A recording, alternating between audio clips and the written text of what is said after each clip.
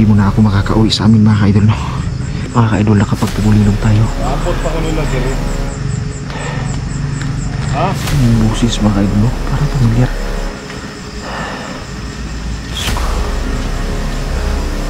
Kapalo ko wala ka diri. Kasi nga natin bato ng grupo.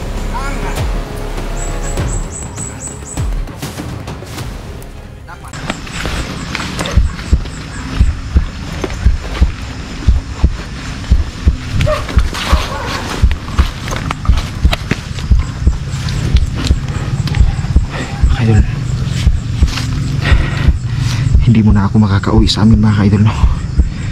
At ah, safety naman yung bata. Sapagkat nilulusom nila yung bahay ko mga idol no? buti na lang at ah, naunahan namin. Dahil sinabi ng gabay ko na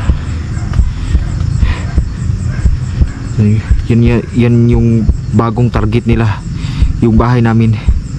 Sinabi pa na susunugin pa nila daw at medyo may problema tayo ngayon mga ka-idol dahil bawat isa sa amin mga ka-idol no, ay makanya-kanyang misyon. Pero sa ganun man mga idol iisa naman yung hangarin namin na makapag lingkod kami no, sa lalong lalo na yung bata na si si Brent si Dave at yung isa si Ashril. Susana hindi pa huli ang lahat no? Dahil nilulusob na nila yung bahay ko mga idol at ah, ako ngayon dito ngayon ako. Naghihintay lamang ako mga idol dito. At hindi ako basta-basta lumalabas mga idol dahil yung mga kalaban natin marami sila. Meron pa ako narinig dito mga idol no? dito sa medyo malapit lang dito. Na isang bandido na tumatawag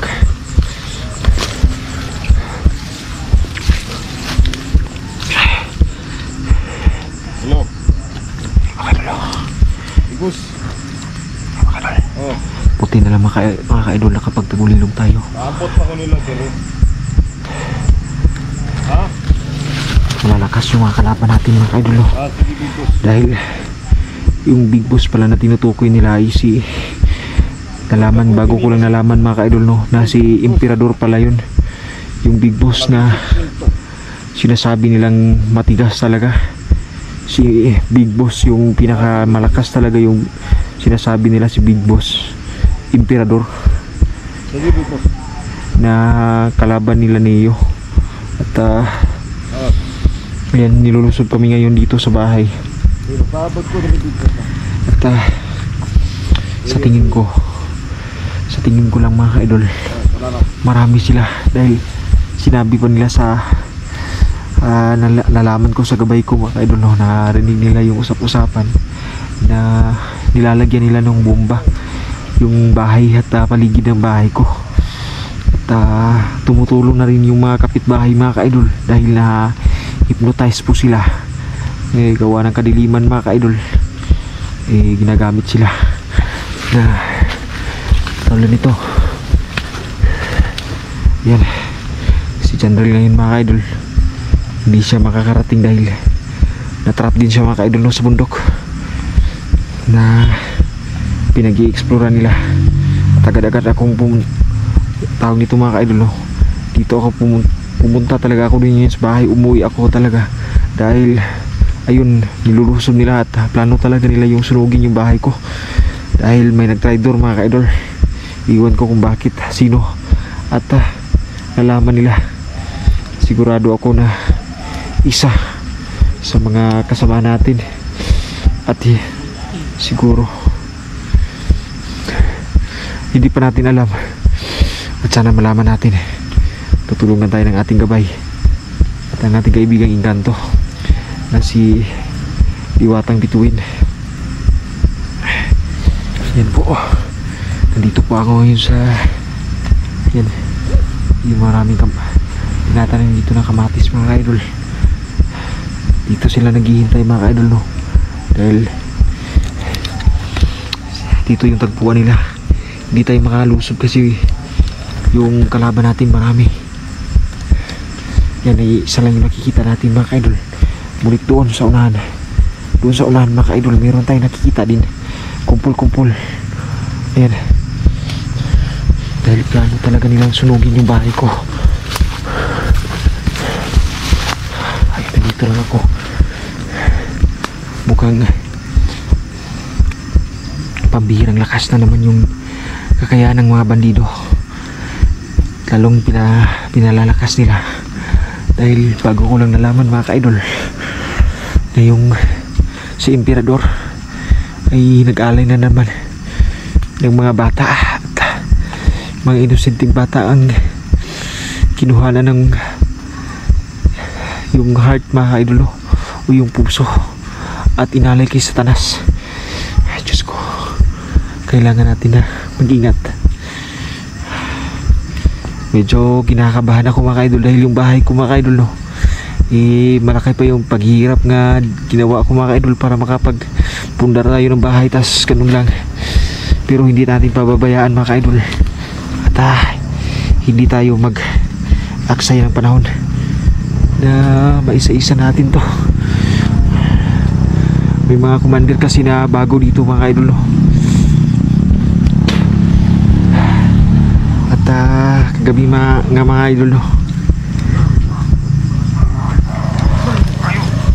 So, mga idol no? Na galit na po yung messenger ni Big Boss mukhang yan pinakuhan ko muna yung ilaw mga idol kasi nakikita nyo may ilaw liwanag. Yan na po yung bahay ko. Nasa likuran po ako ng likod ako ng bahay ko ngayon mga kaidol dahil nandito sila. Hindi talaga yun ang tao to. Nakakulibong tayo mga kaidol? Meron tayong lights mga kaidol pero hindi yan nila nakikita dahil nakabalo tayo ng orasyon mga kaidol galing sa ating mga kaibigan diwata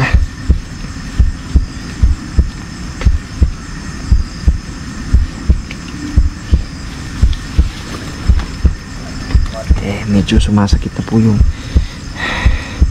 katawan ko mga idol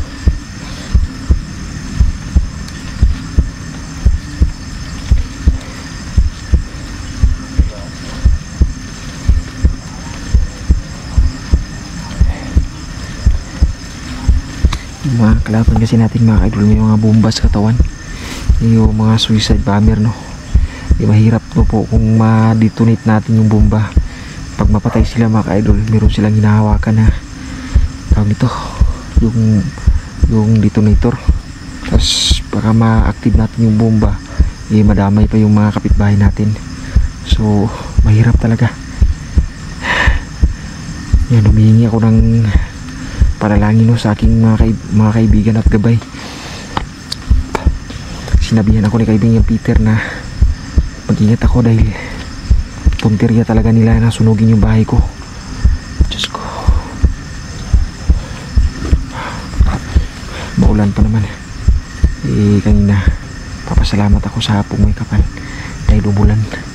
Hindi na mag magawang sunugin yung bahay ko kasi na kuan tawag dito yung apoy hindi na nakadulot pa. Pasensya na po kayo mga hindi ko kayo ma-shoutout ngayon kasi napaka-critical talaga. Yung kalagayan natin ngayon. Mahirap na. Baka baka makakuan tayo. Yung si Emperador kasi mga hindi po yan nakikita. Malakas pa. Pero kakayanan natin. Diyos ko Diyos ko Yan tayo.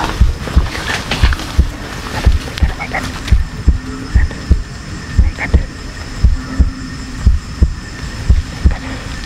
Lagi penalapan dulu lah.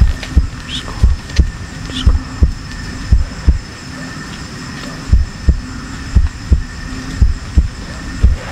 Hindi pa po ako makain makain no. Gawa lang ako'y hindi makakain mo lang gana akong kumain makain no.